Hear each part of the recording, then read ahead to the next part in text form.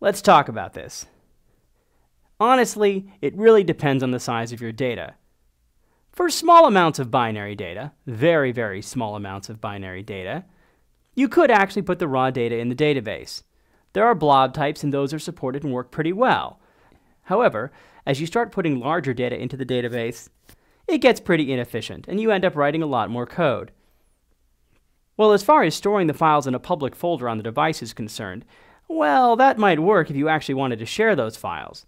But typically, you don't want to share those files with other applications, so storing them in a public folder on the device isn't a very good idea.